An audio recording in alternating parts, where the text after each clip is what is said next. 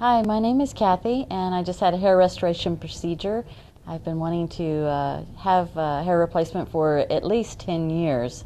I've always been bothered by the thinness of my hair and just wanted to have a fuller head of hair.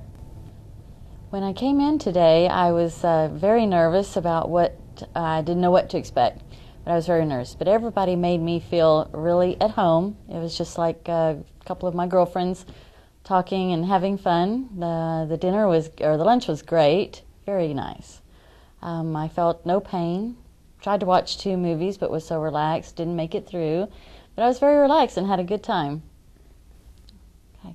And uh, I'm uh, finished with the procedure now and ready to go home. I'm feeling no discomfort and just ready to go. Uh, we are doing this video journey with Kathy here, and we are at the end of the procedure, at the end of the day.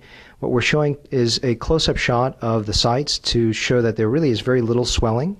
Go ahead and lean forward, Kathy. And lean a little bit forward, uh, your head tilted down further. That's really good. And so if you see right now, you can see the sites are there, but there really is very little swelling, and, um, and Kathy really has no discomfort, and she's ready to go home now.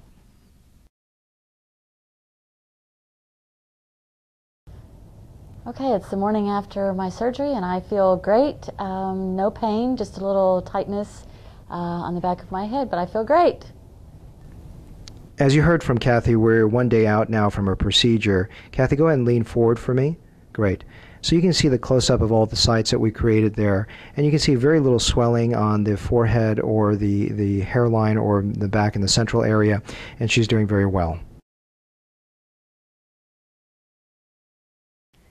Hi, I'm 10 days out from my surgery. I just had my sutures out and everything is going great. I cannot wait to see the begin to see the results um, in the next three months.